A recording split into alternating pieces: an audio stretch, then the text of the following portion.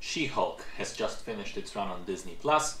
New show starring Tatiana Maslany, nine episodes, around 30 minutes each.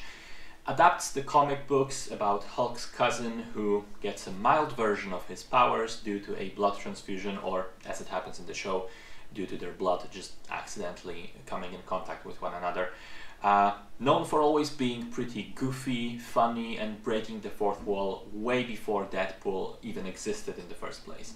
Now, based on the promotional materials for the show, before it even aired, I was cautiously pessimistic. Um, first of all, the She-Hulk comic books are really goofy, uh, and they managed to work because the comic books themselves are in general pretty goofy to start with, uh, much more so than the more than the somewhat more grounded MCU.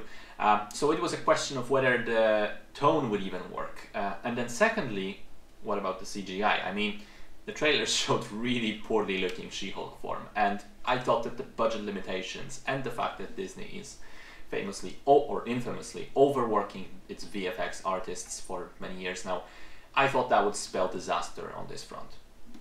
And then I saw the first couple of episodes, and I thought, yeah, I was about right. Um, the first three or so of them I found pretty middling. Uh, the CG left much to be desired, as I expected humor didn't entirely work for me. I thought some of the scenes were cringy, some of the action sequences were unnecessary and didn't look too good.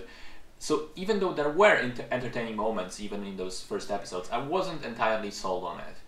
But then somewhere around episode four or five, something clicked. And I don't know whether it's the show finding its footing or me beginning to get on the same page that it was. But I started to really enjoy myself. Uh, and then what happened was that She-Hulk went on the complete opposite trajectory uh, to most Marvel shows on Disney Plus. Just think about it. Falcon and the Winter Soldier started out okay, ended mediocre. Moon Knight started very interesting, ended up just decent. Miss Marvel started super fun in its first episode and then went pretty downhill. Even WandaVision, which I loved, has been criticized for following the traditional Marvel formula in the finale and I have to admit there is something uh, in that criticism. Meanwhile, She-Hulk starts out mediocre and then climbs, and it gets better and better with each episode. And the finale was probably my favorite episode of any Disney Plus show released so far. I won't spoil why, but uh, I was laughing my ass off throughout, uh, being very entertained and enjoying what the show ended up doing with itself. Um, crucially, though, I think it's not just the finale that saves the show. I think it's got clever writing throughout. Uh, the show was what the show amazed me with is that it was very aware of the waves of hatred it would face on the internet just by virtue of existing. And I mean, there were huge numbers of one star reviews even before the show premiered, so you can't say that that's genuine criticism. You have to you have to differentiate between genuine criticism and people who haven't even watched it and are just criticizing for the sake of criticism. And you know, the show was calling all of that out directly in the episodes. Uh, it felt like the main storyline works on two levels. One, it's just interesting within the confines of the show to have She Hulk's opponents and critics and online trolls play into who ends up being the show's main villain. And two, it's a meta commentary on what was going on outside of the show on sites like Reddit. And it's not like the show is only doing that, far from it. Uh, it was equally as smart in playing with genuine fan theories developing over the weeks and sort of calling out those fan theories and fan expectations as well. In the process, becoming very aware of the Marvel formula, uh, becoming stale and actively changing things. Uh, it was also full of little self-contained silly storylines, which for the most part were pretty funny.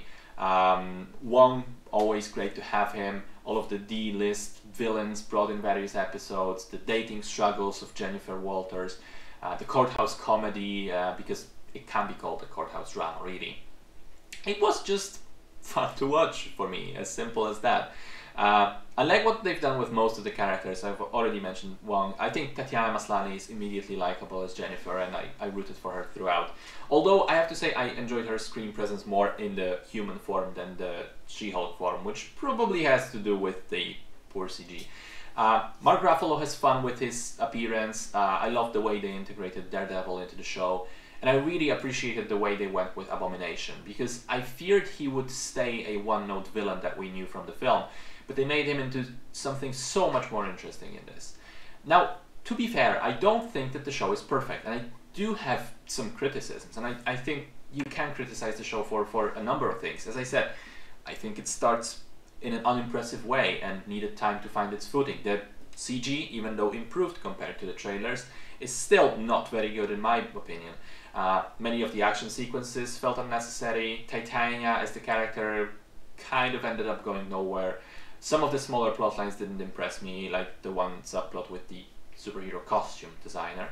Uh, but on the whole, more often than not, I liked what I was seeing, and admittedly, I am a sucker for a good ending, and to me, the final episode was phenomenal. So it, it probably elevated the show a little bit in my mind. Now, I'm sure even the finale will be divisive and not everyone will agree with me, but I will say this. I would much rather have Marvel do some new, interesting things, things they haven't done before, and not reach perfection, rather than repeat the same safe thing that we've seen dozens of time, times now. And I felt that that's exactly what She-Hulk was doing. It was trying to break things and, and, and do new sort of stuff. Lower stakes, goofier humor, the drama being more personal rather than world ending, and a final episode that is wonderfully self aware and well done. And honestly, it just makes me more optimistic for the future of Marvel Cinematic Universe in general.